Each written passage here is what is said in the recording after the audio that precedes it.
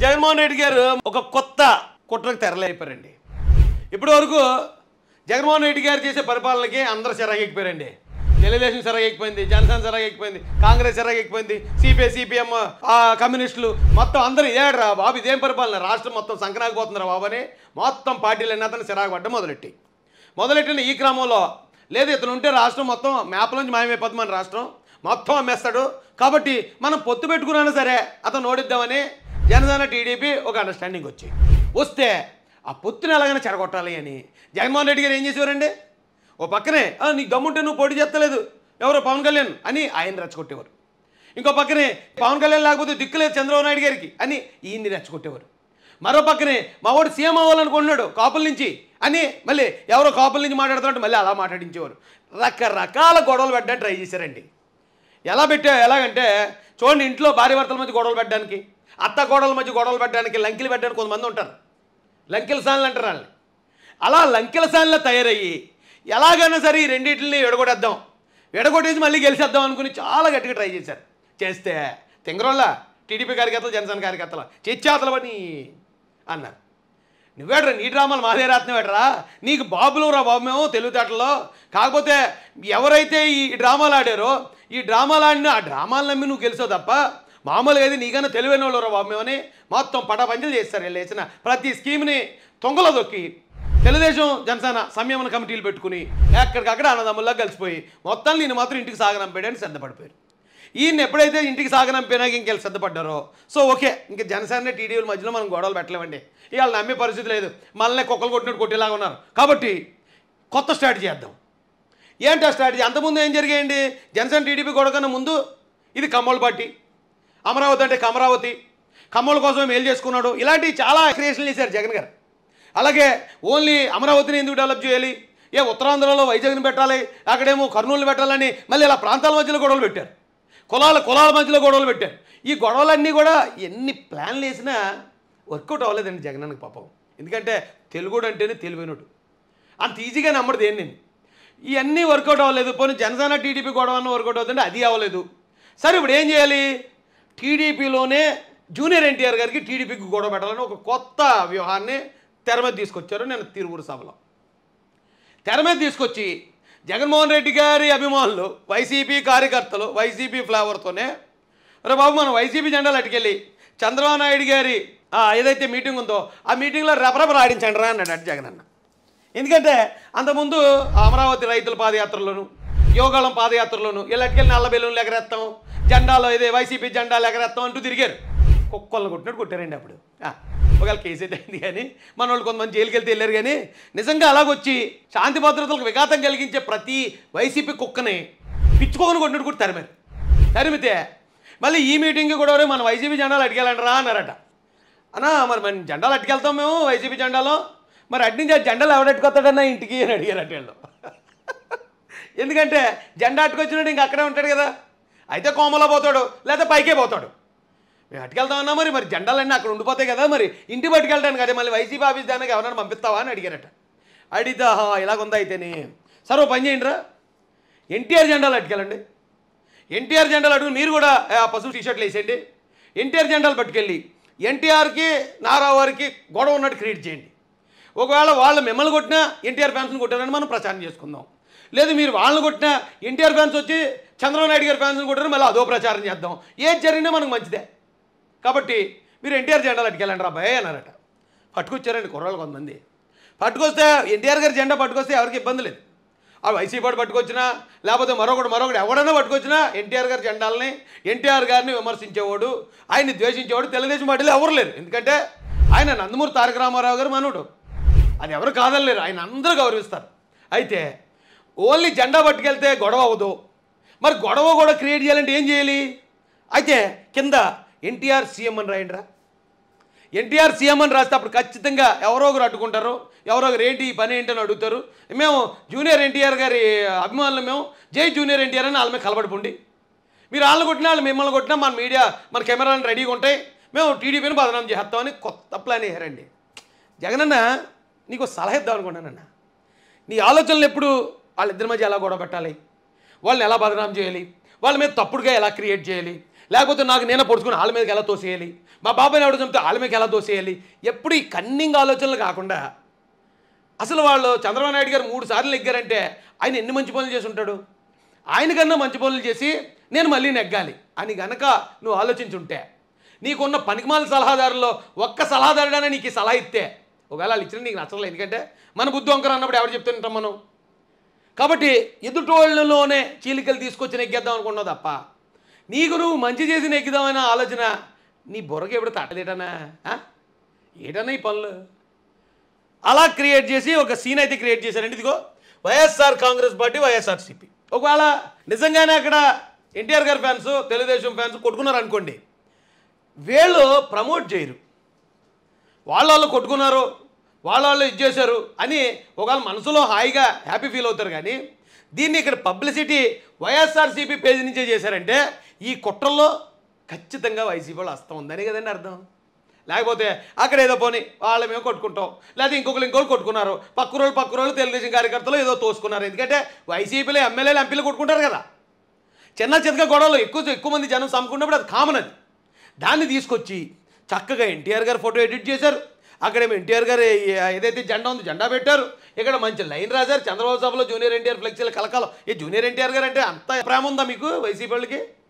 జగన్మోహన్ రెడ్డిని దింపేసి జగన్మోహన్ రెడ్డిని పక్క తీసేసి వైసీపీకి అధ్యక్షుని చేసేయండి పోనయింది వైసీపీని ముందుకు నడిపిస్తాడు యువనాయకుడు పైగా నందమూరి తారక రామారావు గారి వారసత్వం కూడా ఉంది కాబట్టి నిజాయితీ కూడా ఉంటాడు.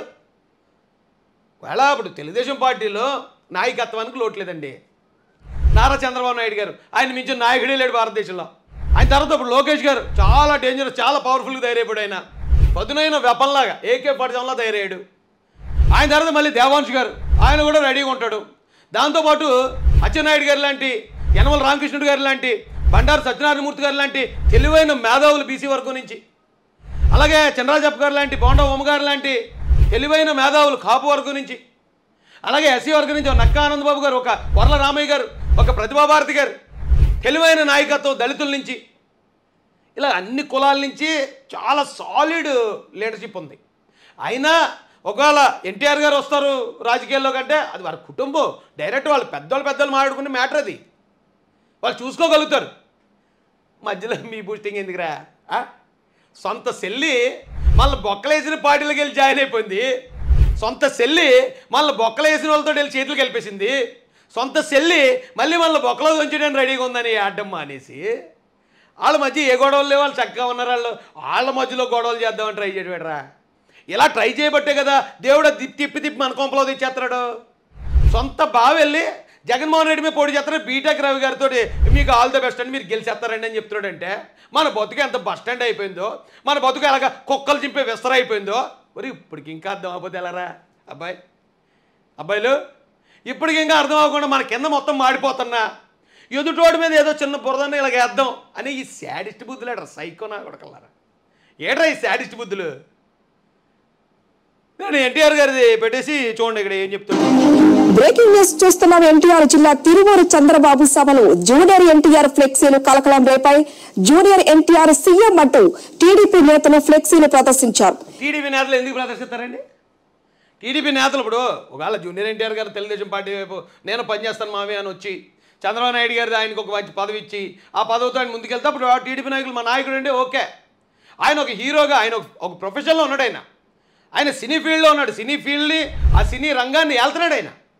ఆయన ఆ ఫీల్డ్లో ఉండే నేను ఈ ఫీల్డ్లోనే ఉంటాను. పాలిటిక్స్లోకి వచ్చానంటే రకరకాల మాటలు రకరకాల అవమానాలు పడాలి. మనకి మనకు వంట పడదో మనం మనం చేయలేము అది అన్నట్టు ఆయన అక్కడ ఉన్నాడు. ఉంటే ఆయన కోసం ఆయన ఫ్లెక్సీల్ని టీడీపీ నాయకులు ఎవరు ఎగరేస్తారండి ఒకవేళ మేమందరం అభిమానులమే ఆయన నటనకి అభిమానులు ఆయన డ్యాన్స్కి అభిమానులు ఆయన డైలాగ్ డెలివరీకి అన్నింటికి అభిమానులమే. అయితే చంద్రబాబు నాయుడు గారి సభలో సీఎం జూనియర్ ఎన్టీఆర్ గారని తెలుగుదేశం కార్యకర్తలు ఎగరేస్తారా? ఇది జరిగే పనా? ఒకసారి ఆలోచించండి. అలా ఎగరేయాల్సిన అవసరం ఎవరికి గతంలో ఇలాగా ఒక ఒక పార్టీ ర్యాలీ వెళ్తుంటే వైసీపీ జెండాలు ఎగరేసిన వాళ్ళు వైసీపీ నల్ల బెలూన్లు ఎగరేసిన వాళ్ళు వాళ్ళ మీదకి ఈ వాటర్ ప్యాకెట్లు ఇసిన వాళ్ళు మురికి బాటిల్స్ మురికి నీటితో బాటిల్ నింపి ఇసిన వాళ్ళు ఎవరు? ఈ వైసీపీ సైకో నాగుడుగులు కాదా? వాళ్ళకి కదా అలవాటు ఉంది. ఒక మీటింగ్కి వెళ్ళి ఇంకో మీటింగ్ జెండా ఎగరేయటం. ఇక్కడ ఈ మీటింగ్లోకి వచ్చి జెండా ఎగరేస్తున్నాడంటే అది వైసీపీ బ్యాక్గ్రౌండ్ వైసీపీ ప్రోద్బలంతో వచ్చినాడు కదా? మళ్ళీ ఈ పేజీలో పెట్టుకుని చెప్తే ఒరే డౌట్ కన్ఫర్మ్ అయిపోద్దిరా మనమే చేయించామంటారా? వైసీపీ పేజీలో పెట్టకండి అని అన్నా చెప్పాలి కదరా. రేయ్ సిగ్గులేని సన్నాసులారా కనీసం ఇక్కడ పెడితే దొరికేస్తారు కదరా మీరే చేయించారు ఇదంతాని. ఎలా పబ్లిసిటీ చేసుకుంటున్నారు రావు దిగజారిపోయి నీ దిగజారుడు బతుకులు. ఇయో బతుకేనా? ఇది. చిచ్చి చిచ్చి చి ఇది నిజంగా జూనియర్ ఎన్టీఆర్ అభిమానులు చేసింది కాదండి. జూనియర్ ఎన్టీఆర్ అభిమానులు అంటే తెలుగుదేశం అభిమానులే. తెలుగుదేశం అభిమానులే జూనియర్ ఎన్టీఆర్ అభిమానులు. వాళ్ళు ఎప్పుడు వచ్చి తెలుగుదేశం పార్టీ అంటే ఇది నందమూరి వంశానికి నారా వంశానికి ఒక రాజకీయ ప్లాట్ఫాము నారా చంద్రబాబు నాయుడు గారు అలాగే నారా లోకేష్ గారు. రామారావు గారు రాజకీయ వారసులు వెళ్ళారు రామారావు గారు నటవారసులు జూనియర్ ఎన్టీఆర్ గారు బాలకృష్ణ గారు ఎవరు హరికృష్ణ గారు కూడా. వీళ్ళందరూ కూడా నటవారసులు. అంటే నటనలో ఆయన వారసత్వం పుణికిపుచ్చుకున్నారు. అందుకే చూడండి జూనియర్ ఎన్టీఆర్ గారు డ్యాన్స్ వేసినా ఒక డైలాగ్ చెప్పినా ఏది చెప్పినా కొత్త వాళ్ళగా అనిపించడు. అది డైరెక్ట్గా నందమూరి తారక రామారావు గారు జీన్స్ అయ్యి. ఒక వారసత్వం ఒకరు తీసుకున్నారు. మరొక వారసత్వం మరొకరు తీసుకున్నారు. ఎందుకంటే ఆ రాజకీయ వారసత్వం అనేది సినిమా వారసత్వం అంత ఈజీగా రాజకీయ వారసత్వంలో ఎన్నో ఆటుపోట్లు ఉంటాయి. తప్పుడు కేసులు ఉంటాయి. చంద్రబాబు నాయుడు గారు అన్ని రోజులు దాదాపు యాభై మూడు రోజులు అనుకుంటా జైల్లో ఉండాల్సి వచ్చింది. ఆయన మీద లేనిపోయిన ఆరోపణలు ఆయన భార్యను అవమానాలు పడినా ఆయన భరించాడు. కొడుకును అవమానించారు కోడలను అవమానించారు. ఇన్ని అవమానాలు భరిస్తూ కూడా శకరంలో నిలబడాలి. రాజకీయ వారసత్వం అంటే. ఎంతోమంది సైకో నాగొడుకుల్ని విలల్ని ఈ ఫ్యాక్షనిస్టుల్ని ఇలాంటి వాళ్ళు ఎంతోమందిని ఎదిరించి నిలబడాలి. ఆయన మీద అలిపూర్లో బాంబు దాడి చేశారు. బాంబు దాడి చేస్తే క్షణంలో చనిపోవాల్సినాడు నారా చంద్రబాబు నాయుడు గారు. ఇలాంటి ప్రాణాపాయ సంఘటనలన్నింటినీ ఎదుర్కొని ఇప్పటికింకా నందమూరి తారక రామారావు గారి పేరుని విశ్వవ్యాప్తం చేసిన ఏకైక నాయకుడు నారా చంద్రబాబు నాయుడు గారు. ఆయన పేరు నిలబెట్టింది. ఆయన పేరుకి ఒక కళంకం తీసుకొద్దామని లక్ష్మీపార్వతి చేసిన ప్రయత్నాన్ని కింద పురుగును తొక్కినట్టు తొక్కేసింది. ఆయన పేరుకి కళంకం రాకుండా కాపాడింది. ఇప్పటికింకా ప్రపంచవ్యాప్తంగా నందమూరి తారక రామారావు గారి విగ్రహాలను ఆవిష్కరించేలాగా ఆయన గౌరవించేలా చేసింది. One and only Nara Chandrababu Naidu గారు. మర్చిపోకూడదు. నందమూరి వంశం కూడా మర్చిపోకూడదు ఇది. ఎందుకంటే ఆయన ఒకవేళ ఆ పార్టీ నేను చేజెక్కించుకున్నాడు లేకపోతే ఇంకోటి చేశాడు ఇంకోటి చేశాడు అన్నారు నిజంగా అలా చేస్తే మూడు సార్లు ప్రజలు నెగ్గించరు ఆయన్ని. మూడు సార్లు ఆయన మీద ప్రజలు నమ్మకం పెట్టుకోరు. ఆంధ్ర తెలంగాణలో అంటే సమైక్య ఆంధ్రప్రదేశ్ మూడు సార్లు నెగ్గించింది ఆయన్ని. ఆయనలో క్యాబిలిటీ లేకపోతే జరుగుతుందా? ఇక జగన్ అబద్ధాలు చెప్పాడు సార్ నెగ్గాడు. రెండోసారి నెగ్గినాక ఎన్ని మొక్కలు చేస్తున్నాడు ఎనభై మంది ఎమ్మెల్యేలు మార్చేస్తున్నాడు? డబ్బులు పంచేస్తున్నాను అంటున్నాడు అప్పులు చేసుకొచ్చేస్తున్నాడు మరోడు అన్నాడు మరోడు ఇన్ని డ్రామాలు ఆడినా రెండోసారి నెగ్గే పరిస్థితి లేదు. మరి చంద్రబాబు నాయుడు గారు ఊరికే మూడు సార్లు నెగ్గుతారా? మూడు సార్లు ఊరికే ఏం పని చేయకపోతే మూడు సార్లు నెగ్గిస్తారా? ఏ ఏం మాడతారండి ఏమన్నా అంటే గారు రాయేష్ ఆవేశంగా మాడుతున్నాడు అంటారు. అయితే ఇంకోటి కూడా అంటారు రాయేష్ నువ్వు వన్ సైడ్ తీసుకుని నువ్వు వైసీపీ వాళ్ళతో నువ్వు తగులు పెట్టేసుకున్నావు నువ్వు వాళ్ళతోటి శత్రుత్వం పెంచేసుకున్నాడు పెంచేసుకుంటాడు రాయేష్ అంతే. మహాశైలంలో కూడా అందరూ అంతే. నా ఓడు ఇది నాది అనుకుంటే ఎక్కడి దాకానే వెళ్ళిపోతాం మేము. మహార్ సైన్యం అదే చేసింది. మహార్ సైన్యం చరిత్ర మీకు తెలియదేమో. ఇది నాది నా సైన్యం. నేను వీళ్ళ తరపున పోరాడుతున్నాను అనుకుంటే ప్రాణాలు తెగించి పోరాడేస్తారంతే మాకు అదే తెలుసు. ఇంకోటి కూడా చెప్తున్నాను.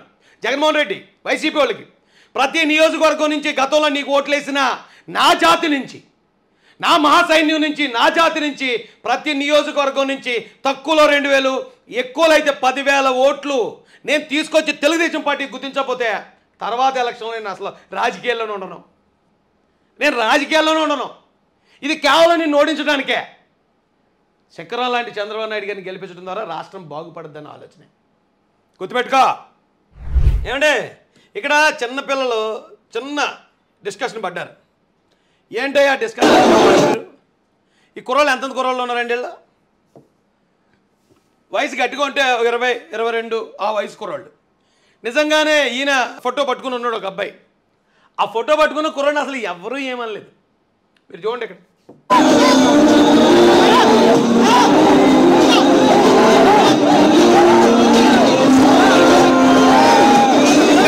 కొట్టుకున్నారు అంతే. ఇక్కడ చూడండి ఇక్కడ ఇద్దరు ఇద్దరు కుర్రాళ్ళు తోచుకున్నారు అది కొట్టుకోవడం కూడా కాదు.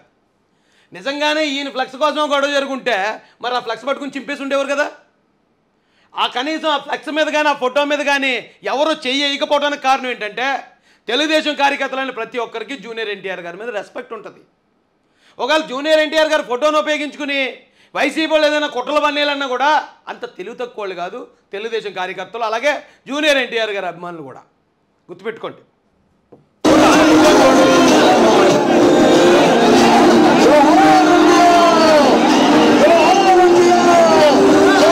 జోహార్ ఎన్టీఆర్ అని అడుగుతున్నాను అంటే జూనియర్ ఎన్టీఆర్ గారు అమ్మాయిలు అయితే జోహార్ ఎన్టీఆర్ అంటారా? ఒకసారి ఆలోచించండి మరి. ఎక్కడన్నా ఈ ఫ్లక్స్ మీద ఎవరన్నా చేసారేమో చూడండి ఈ- బోర్డు మీద.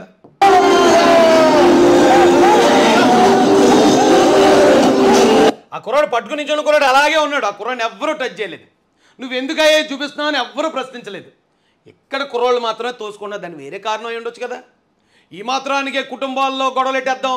కుటుంబాల్లో గొడవలు పెట్టేసి పార్టీని ఎడగొట్టేద్దాం. పార్టీని ఎడగొట్టేసి గెలిచేద్దాం. ఓరి నీ ఊరు ఏం తెలియదు రా బాబు గెలవడానికి మంచి చేయండి రా. మంచి చేసి గెలవండి.